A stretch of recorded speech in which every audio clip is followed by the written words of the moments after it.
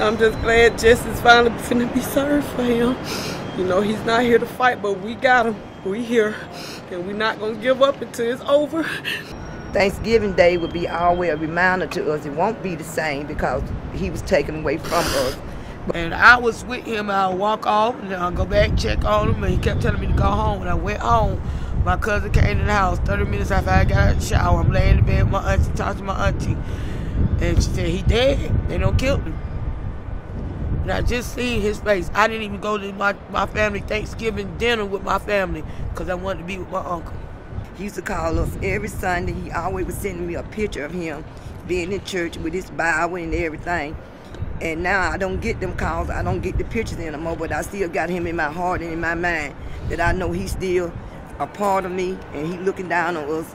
And I'm thankful. I'm so thankful and grateful that this day has come and this journey is about to be ended for us. And we thank the detective.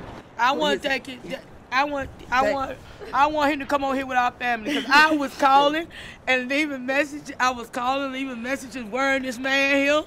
I mm-hmm. want to thank him for him solving this case for us. Thank you so much. Thank you. I'm so thank so grateful thank to you. you. Lord, thank you. Thank, thank you.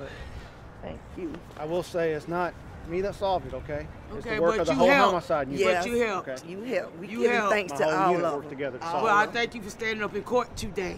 Yes, Thank- ma'am. Standing Thank up you in so court much. today. Yes, ma'am.